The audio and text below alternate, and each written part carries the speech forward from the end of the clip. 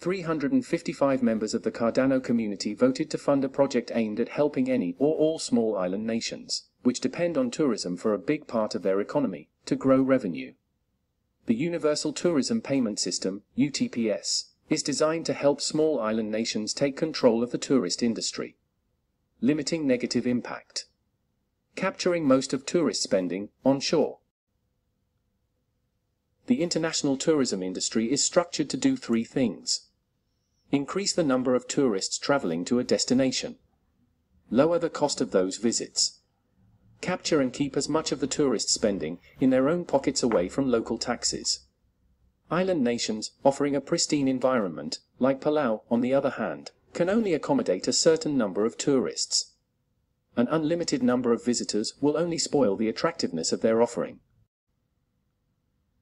UTPS is a system based on blockchain technology that can be implemented sooner rather than later. Using blockchain technology that exists today. Capturing spending on island. A tool to increase total tourism revenue. Creating a usable database of customers to build community. Promoting donations to island initiatives. A tool to balance the load on fragile resources. Providing the capability to track what visitors do, and where they go, in order to provide better public safety. Every small island nation leader, business owner, and employee wants earnings from tourism to grow. Responsibly. In a positive way that enriches both visitors and islanders' lives. But our worlds are changing. We can use digital tools to help reach two goals. First, our goal is to use these tools to enrich the lives of our own communities. Second, to control the negative impact of tourism on our natural resources and on our society. Primarily by controlling the number of visitors at any one time or season. And by enticing those people who think the same as we do to visit our island. Respecting nature and our community. The main point of this presentation is to offer ideas that are doable today. Using tools that are available and proven that they work. Web3 is here. Payment systems like cards and QR codes are accepted worldwide. A simple blockchain wallet is central to the system. Visas can be represented by smart tickets, NFTs, allowing entry to events and places of interest, in reasonable numbers. Because the system is on phones, geo-tracking is possible. Data is collected on-chain for future reference, if needed. Normal point-of-sales devices accept and process payments. UTPS uses technology that is practical, doable, and works today. Palau already requires visitors to complete a Palau entry form within 72 hours of arrival. With digital technology that exists, the Palau entry form can be changed to be a mobile application. Technology helps us to take off, fly faster, further, and more safely. Let's use it. The system revolves around an on chain visa. As mentioned, Palau already requires visitors to provide personal data to obtain an entry visa. Using a rather simple form. The UTPS builds on that form, transforming it into a mobile application. That includes payments. Provides tickets to visit special sites. Enables tracking. To learn more about visitor habits and to support improved public safety. Blockchain technology makes this all possible. Once in Palau the mobile device can track where and when visitors go. And in the case of criminal activities or missing persons, the tracking feature, linked to the visa, can help public safety officers. The next section of this video gives an overview of the system, and explains the components which make up the Universal Tourism Payment System. You will see that each of these components already exist in working form. Used by the many of the same people who are expected to visit Palau as tourists. Implementation of the UTPS requires integration and customization of existing technology, not R&D of new technologies. Nor does the system require major changes in visitors' lifestyles. As well there are benefits for individual Palauans to use this same system to make their own purchases, or to organize events, and even to earn interest. Merchants will find that the UTPS simplifies their Palau goods and services tax system compliance.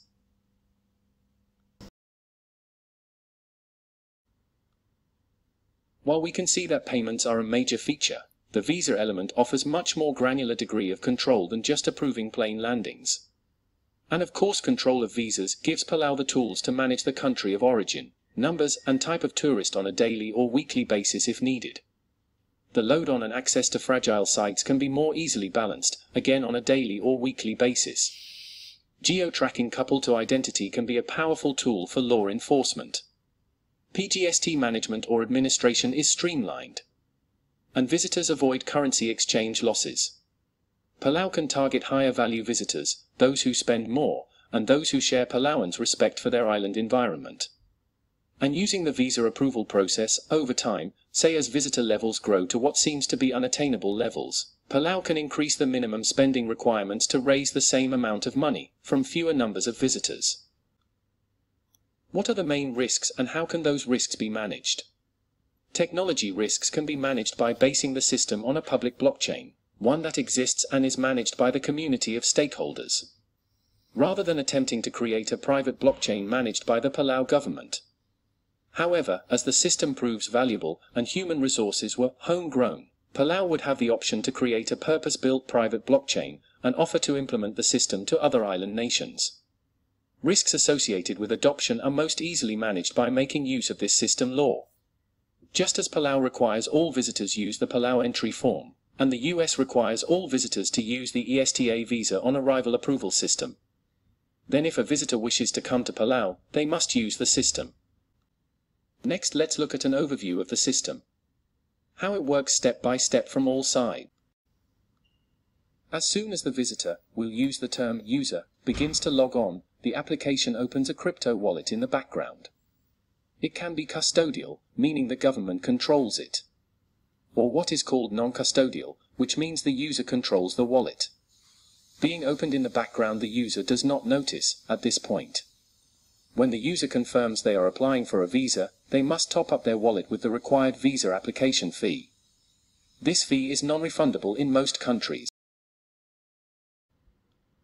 When the system alerts Palau immigration that the visa fee has been paid, the immigration office performs its normal checks and approves or denies the visa. Once approved, the UTPS system mints the visa in the form of a unique NFT, non-fungible token, and notifies the user that the visa is provisionally approved for the number of days requested, advising that the visitor should deposit the required funds into the wallet. Deposits can be made by payment application credit card or debit card or bank transfer. Once funds are deposited, the NFT visa is activated and the visitor can safely book travel and accommodations. We said the technology for UTPS exists. Let's look at the individual components. First step is the technology to open a crypto wallet in the background without bothering the user, who may not understand cryptocurrencies. Anyone attending the blockchain summit has used this technology. See what Moongate.id explains. The Palau Blockchain Summit ticket provider is the same example of the Web3 technology already working. Persons visiting the Moongate.id website can open crypto wallets and fund those wallets. In the case of Palau Blockchain Summit, the payments are received, credited, NFT tickets are minted and sent to the visitor. As Moongate.id explains, the NFT ticket, consider it to be a visa, can also be used to enter events, provide verified access to restricted sites and used for many purposes. The Palau immigration team is the component that evaluates and decides to approve or deny the visa application, posting their decision the blockchain as metadata for minting the NFT. The remaining components are a method to mint NFTs, well-established technology, a QR reader at Palau Airport immigration desk to verify the validity of the NFT visa, and compare the person to the photo in the NFT and their passport. Then all merchants must have a merchant's version of the UTPS application, probably on a mobile phone. And the Palau government would have an administrator's version of the UTPS application and Palau Goods and Services Tax Administration version. But manpower, hardware, and infrastructure to host those two applications would be small. This diagram illustrates the overall flow of a purchase from the user's point of view. From purchase, that is payment, at the point of sale, processed through the PNCC mobile network to the wallet server. Then either for conversion to fiat, dollar, and to the merchant's bank account. Or through a cryptocurrency processor to the merchant's cryptocurrency wallet. The flow from the merchant's side is the same up to the last steps. Okay, it's okay. Since the merchant has collected PGST, there is an obligation to send that money to the Palau government, and to account for the PGST the merchant has paid versus what has been received, and pay only the net amount. On a monthly basis this can be a lot of paperwork and accounting. One feature of the UTPS is to pay the amount of VAT collected directly, as cryptocurrency, to the merchant's account with Ministry of Finance, making the accounting much easier. This is an option.